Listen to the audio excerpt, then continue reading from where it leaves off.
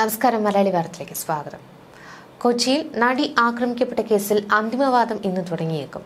ഇതിനിടയിൽ മുൻ D G P R ശ്രീലേഖയ്ക്കെതിരെ കോടതി അലക്ഷ്യ ഹർജി. വിചാരണ കോടതിയിലാണ് അതിജീവിത ഹർജി നൽകിയത്. പോലീസ് കള്ളത്തെളിവുകൾ ഉണ്ടാക്കിയെന്ന ആരോപണത്തിലാണ് ഹർജി. ഒരു ഓൺലൈൻ ചാനൽ നൽകിയ അഭിമുഖത്തിലാണ് ശ്രീലേഖ ആരോപണം ഉന്നയിച്ചത്. നേരത്തെ ശ്രീലേഖയും ദിലീപും തമ്മിലുള്ള വാട്സാപ്പ് ചാറ്റുകൾ പുറത്തു വന്നിരുന്നു ദിലീപിന് അനുകൂലമായി ആർ ശ്രീലേഖ നടത്തിയ വെളിപ്പെടുത്തൽ വലിയ വിവാദമായിരുന്നു. കേസിൽ ദിലീപ് നിരപരാധിയാണെന്നും നടനെതിരെ തെളിവുകൾ കെട്ടിച്ചമച്ചതാണെന്നുമായിരുന്നു അവർ ആരോപിച്ചത്. അതിനുശേഷം അടുത്തിടെ ഒരു സ്വകാര്യ ഓൺലൈൻ ചാനൽ നൽകിയ അഭിമുഖത്തിൽ വീണ്ടും ദിലീപിന് അനുകൂലമായി ശ്രീലേഖ രംഗത്ത് വരികയായിരുന്നു.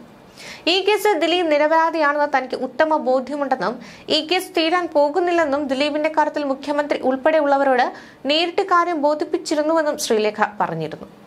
ശ്രീലേഖയുടെ ആ വാക്കുകൾ ഇങ്ങനെയായിരുന്നു. വി ഐ പി ആയതുകൊണ്ടാണ് ദിലീപിന് ഞാൻ കരിക്ക് കൊടുത്തത് മെത്ത കൊടുത്തത് പ്രത്യേക ഭക്ഷണം കൊടുത്തത് എന്നൊക്കെയുള്ള അപവാദം എനിക്ക് കേൾക്കേണ്ടി വന്നു. ഞാനും ദിലീപും തമ്മിൽ ബന്ധമുണ്ട്. പൈസ വാങ്ങി എന്നൊക്കെയുള്ള ആരോപണങ്ങളും കേട്ടു. ഒരു വാട്സാപ്പ് ചാറ്റ് തന്നെ പുറത്തു വന്നു. സത്യത്തിൽ ദിലീപിന്റെ പക്ഷത്താണ് ഞാൻ. അയാൾ ഇതിൽ ഉൾപ്പെട്ടിട്ടില്ല എന്ന ബോധ്യം എനിക്ക് ആ സമയത്ത് തന്നെ വന്നിരുന്നു.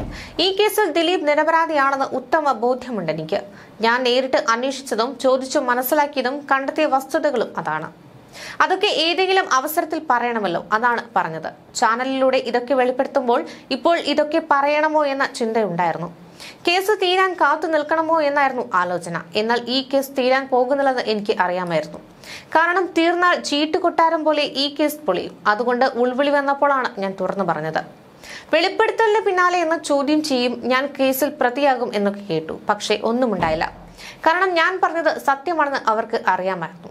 എന്റെ മുൻപിൽ വരുന്ന കേസുകളിലെല്ലാം തന്നെ മറുഭാഗം ഞാൻ കാണും. ഇരയുടെയും പ്രതിയുടെയും ഭാഗത്തുനിന്ന് നോക്കിയാലേ കുറ്റത്തെക്കുറിച്ചുള്ള പൂർണ ചിത്രം കിട്ടൂ എന്ന ബോധ്യം എനിക്കുണ്ട്. ദിലീപിന്റെ കേസിലും അതാണ് ഞാൻ സ്വീകരിച്ചത്. ഒരു പെൺകുട്ടി പീഡിപ്പിക്കപ്പെട്ട സംഭവത്തിൽ ഞാൻ അവൾക്കൊപ്പമാണ് നിൽക്കേണ്ടത്.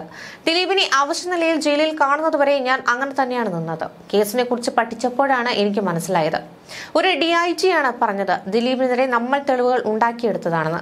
അവിശ്വസനീയമായിരുന്നു അത് എന്നായിരുന്നു ആ വാക്കുകൾ.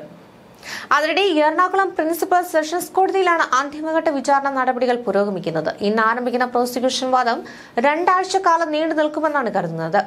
ശേഷം കേസിലെ പ്രതിഭാഗവാദം ആരംഭിക്കും. ജനുവരി മധ്യത്തോടെ വിചാരണ നടപടികൾ പൂർത്തിയാക്കി കേസ് വിധി പറയാൻ മാറ്റിയേക്കും. കേസിൽ നടൻ ദിലീപ് ഉൾപ്പെടെ ഒൻപത് പ്രതികളാണുള്ളത്.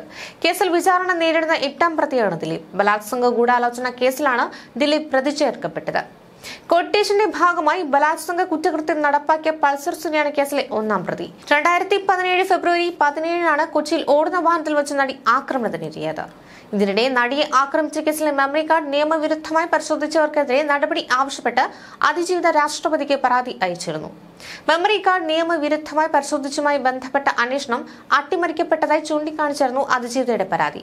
അന്വേഷണ റിപ്പോർട്ടിൽ ഇതുവരെ നടപടി ഉണ്ടായിട്ടില്ലെന്നും കുറ്റക്കാർക്കെതിരെ നടപടി എടുക്കണമെന്നും പരാതിയിൽ ആവശ്യപ്പെട്ടിട്ടുണ്ട് ന്യൂസ് ഡെസ്ക് മലയാളി വാർത്ത.